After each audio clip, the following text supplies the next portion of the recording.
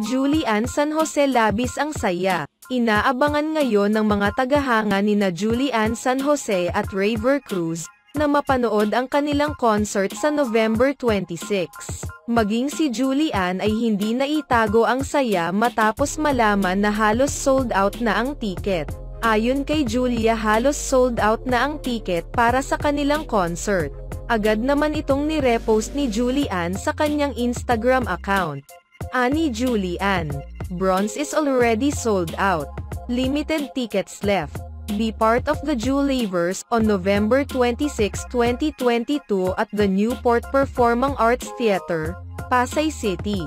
To enter, purchase your tickets at www.gmanetwork.com slash synergy or http colon slash slash www.ticketworld.com.ph Kasalukuyan na ring nag-iinsayo ang dalawa upang masatisfy ang kanilang mga tagahanga. Makakasama nila sa kanilang concert si Gary Valenciano at iba pang magagaling na singer.